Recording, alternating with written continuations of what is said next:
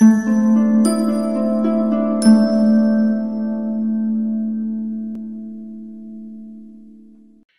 everyone and welcome to another video by BioTeach, this time focusing on Required Practical 2 which looks at how to prepare a root tip squash to observe cells in mitosis and also gives you some practice at setting up and using a low powered microscope. This experiment comes up in the A-Level Biology Cells module and of course in the BTEC Applied Science as well as part of Unit 11 Genetics and Genetic Engineering so it is useful for both specifications. In this experiment, you will use either onion root or garlic root to look at living cells which are undergoing mitosis. We look at the meristem region or the very tip of the roots as this is where most of the growth occurs and will likely have the mitotically dividing cells. We use onion or garlic as each of the cells only have eight chromosomes, so it's really easy to see the chromosomes once they've condensed. In order to observe the cells in division, we need to create microscope slides with a single layer of cells, so we'll talk through how to do this in a second. Your teacher or technician will have allowed some roots to grow in standing the garlic or onion in water, a bit like you can see in that image on the right. Usually leaving them suspended in water for about three days allows the roots to grow long enough to be able to experiment on. Last year I did have a problem in growing these roots though, because most of the fruits and vegetables in the supermarkets have been ionized, so it takes a while for the roots to actually grow, but you can do it with good success with some patience. The first thing you need to do is cut a few roots off at around 2 centimetres and in the beaker add hydrochloric acid to which you will add your root tips. Those black lines in the beaker represent three root tips that I would add. The purpose of the hydrochloric acid is to destroy the substances that unite the cells. It's usually a protein known as pectin, but this does not actually destroy the cell walls. The hydrochloric acid also has the ability to kill the cells and halt the process of mitosis, so we can increase our chances of seeing the cells mid-division. The root tips will be left in acid for about 15 minutes. I usually ask my students to pick two or three tips to put in the acid in case the first slide doesn't quite work out properly and they might want to try again. In the meantime, you can set up a light microscope and familiarise yourself with the various parts of it which your teacher or technician can talk you through. When the 15 minutes is up, you will need to rinse one of the root tips in distilled water in the watch glass. And when it's rinsed, you need to identify which part is the tip part and which bit is the location where you cut from the plant. The tip usually looks a bit pointy and the bit where you've cut should hopefully be quite straight. So you will need to snip off around one millimeter sample from the tip end and place it on the microscope, a bit like this diagram here. The stain that we use to dye the cells is known as toluidine blue, but some method sheets suggest using something called acetic orcein, which is supposedly more successful for staining results. If using toluidine blue, I found it usually takes about 10 minutes for the stain to really dye the contents of the cell and for the parts of the cell to become stained a blue colour properly. I usually ask my students to macerate or mash the root tip with a needle for about 10 minutes to give them a good chance of being able to observe the cells with a darker stain. Once they've macerated the tip, we gently place the glass cover slip on top and then using your thumb you should press down firmly onto the cover slip to squish the cells under the cover slip. Do not move your thumbs or fingers side to side or you will have cells which will roll over or overlap one another and that won't be any good to view under the microscope. By pressing down firmly at a 90 degree angle with your thumb, you can ensure that you're creating a single layer of cells to observe. Finally, you're ready to observe your slide under the microscope. When you get to this stage, you might find that you can't actually see any of the cells underneath the cover slip with the naked eye, but don't panic because when you put it under the microscope, it might look a little bit like this. This image was taken about a year ago by a student who carried out this method successfully, and you can see a number of cells in mitotic division. I've highlighted some particularly attractive looking cells on the slide in pink circles, so we can see some in metaphase, some in anaphase, there's one particular one that's just undergoing telophase or cytokinesis. The task here would be to observe the entire slide and identify the cells in mitotic division, and then to hand draw some of the cells in each phase. Your teacher might think to ask you to use a graticule to measure the cell size and to calculate something known as the mitotic index.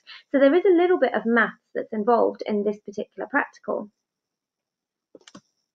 This image over here shows you something that looks a little bit lighter in colour. We can still observe a couple of cells in mitotic division, however the staining is not of the highest of quality. It's pretty light, so it might make it a little bit difficult for you to observe the slide under the microscope. There could be a number of reasons why this has happened. It could be that the stain was not left on for long enough. It could be that the root tips were not left in acid long enough, or that the stain has expired or diluted. So this is another reason why we prepare a couple of root tips so that we can come back and do the staining on another root tip just in case the first time it doesn't quite work out the way that you want it to. Here are a few more examples of what you should be able to observe providing your slide preparation and root tip preparation was carried out with a high degree of competence. These images have been taken from funsci.com, which have some great examples on the website. You can see the image on the left-hand side here shows prophase, and the one on the right shows metaphase. There's another couple of pictures here. The one on the left shows you the anaphase, and the one on the right shows you towards the end of anaphase and kind of the telophase section. These are also taken from funsci.com. Finally, I would ask my students to practice doing some calculations. Now this table here shows the phases of mitosis and the number of cells at each phase. It also goes on to say on the right hand side that the onion and garlic root cells have a cell cycle time of approximately 24 hours. Now this is application of this practical. This is an example of the type of exam question that you might get in your papers where you're asked about this particular practical. Now, the question would be to calculate the time spent by the cells in each of the phase. And in order to do this, we would do the number of cells divided by the total number of cells multiplied by 100. So, for example, for interphase, you've got 112 cells that were in interphase. So we divide that by 137 because we've worked out the total number of cells, and we multiply that by 100 to say that 82% of the cells were in interphase. And we carry on doing that where we identify 10% in prophase, 3% in metaphase, 2% in anaphase, and 3% in telophase. The next part is to estimate the time spent in each stage in minutes. So in order to do that, we would effectively do 82 divided by 100 times by 1440. And the reason we do 1440 is because we convert 24 hours into minutes.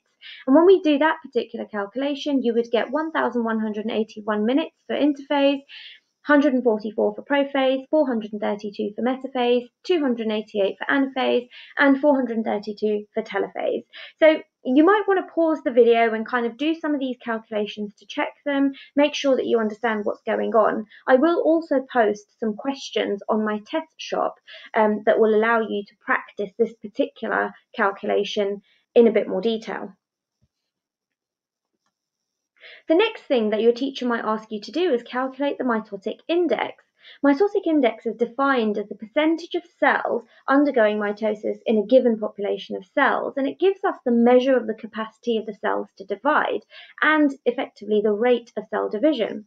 When we're calculating mitotic index, we need to exclude the cells that are in interphase. We only count the cells which possess visibly condensed chromosomes.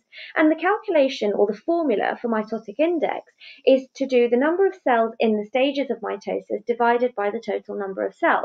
So let's say I wanted to calculate the mitotic index of this field of view that you can see on this photograph. I would simply count up all of the cells I can see. Let's say, for example, that's 160. I would then count up the cells that were in prophase, anaphase, metaphase, and telophase. For example, let's say that's 70. The mitotic index would be calculated by doing 70 over 160 and then getting an answer of around 0.42 to 2 decimal places. The higher the mitotic index, the more the cells are dividing. A high mitotic index can indicate that there is extensive growth and replacement of cells, or that the cells are dividing uncontrollably, like we would see in cancer. We would expect the mitotic index to be fairly high in the root tip, and for it to decrease as we go higher up the root towards the stem. We know this because as we get further away from the root, the cell division is reduced and therefore the mitotic index is lower. We should also note that as you get higher up towards the stem part, you get cell specialization occurring, and those aren't the cells that are actively dividing. Finally, I would ask my students to practice some cell drawings. I usually give the following guidance when completing drawings to ensure that you're creating beautiful and biologically appropriate drawings of your own. The key points here are the ones that are in bold, which specifically apply to this particular practical, but I do also think the other points are really important to note. The main thing I would be looking for when I'm marking biological drawings is to see that they're drawn in pencil with clear lines and no shading. I don't want to see any sort of colouring in.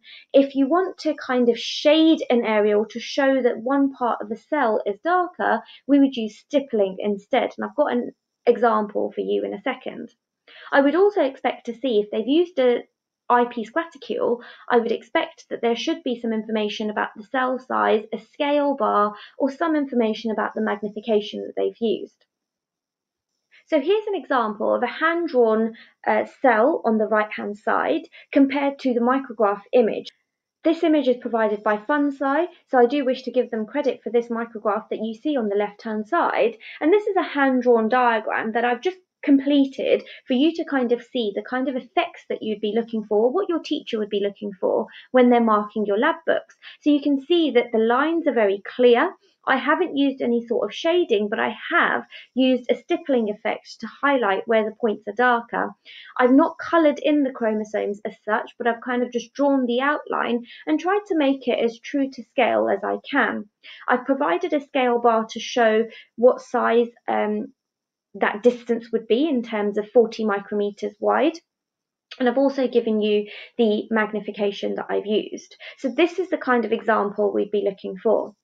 Okay, so I hope that was useful for you. If you've got any questions, then please leave me a comment underneath this video. Thank you so much for watching this. I hope that you found it really interesting. Bye for now.